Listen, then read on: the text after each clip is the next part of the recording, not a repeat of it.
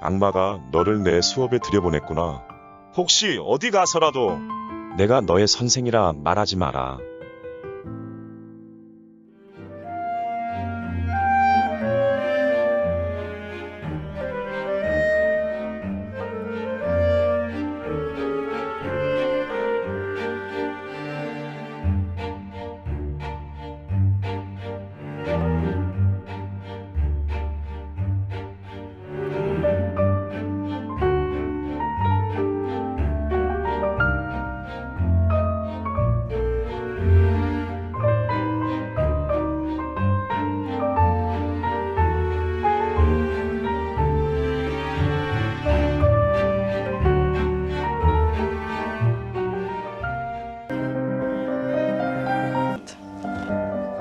Froh, wenn ich die Gesichter so sehen könnte wie du.